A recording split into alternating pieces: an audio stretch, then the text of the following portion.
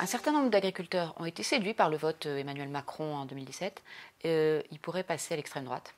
Il y a de toute façon, euh, dans le monde agricole, depuis pratiquement Jacques Chirac, il y a, il y a une désillusion.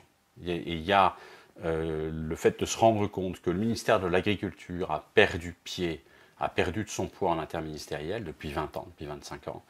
Il y a le fait de se rendre compte que dans l'exercice du pouvoir, la connaissance de leur secteur et des acteurs est quelque chose qui est en perte de vitesse, et donc il y a une désillusion.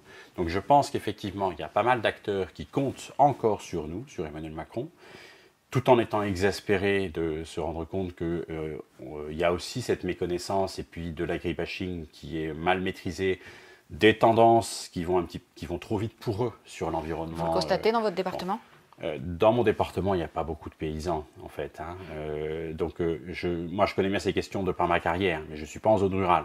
Tous mes collègues qui ne connaissaient pas ce secteur, qui sont en zone rurale agricole, s'y sont tous mis.